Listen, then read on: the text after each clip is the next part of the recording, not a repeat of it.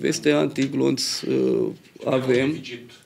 Avem uh, uh, un minim de veste antiglonț. Am încercat să dotăm, în primul rând, uh, efectivele care desfășoară activități în stradă, începând cu cele de la efectivele de la Serviciul de Acțiuni Speciale.